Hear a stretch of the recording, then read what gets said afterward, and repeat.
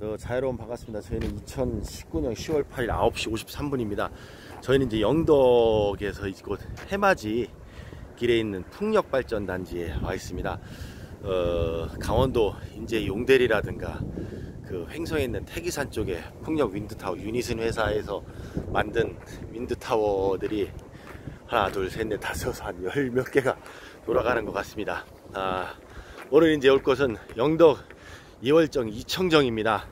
아, 동해안 일대 분포하고 있는 대표적인 여성 놀이로 바닷가 마을인 영덕군 영덕읍 노물리에 있고 주로 정월 보름, 2월 보름, 8월 한가위 보름 명절에 젊은 부인들과 시집갈 처녀들에서 많이 유행이 됐고 노래에는 두 가지 설인데 1년 중 보름 명절 달맞이 청정에 밤에 춤추고 노래하며 논다고 해서 월월 이청청이라는 설이 있고 임난과 관련해서 외장 가등청정이 쳐들어오니 경계하라는 뜻에서 비록돼서 월월 내청정이라는 설이 있고 놀이의 의미는 여성의 생산을 상징하는 주, 주술 종교적 의미로 공동체의 풍요다산을 나타내며 이 놀이를 보는 남성들로 하여금 구애 구원하게 하는 구애무적인 성격을 나타내기도 합니다.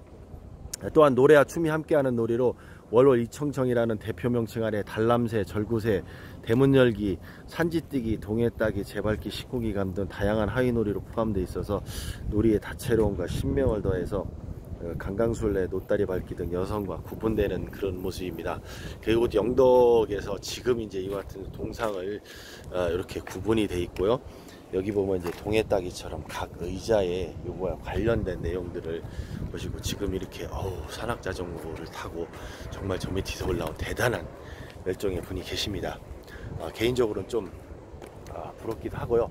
지금 윈드타워 풍경을 쭉 해서 어, 이어지면서 오늘 또 어, 계속 탐방을 해보도록 하겠습니다.